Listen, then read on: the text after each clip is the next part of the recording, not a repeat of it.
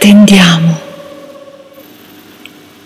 Quando non lo vedo, so che la rincorre fuori nel buio si siede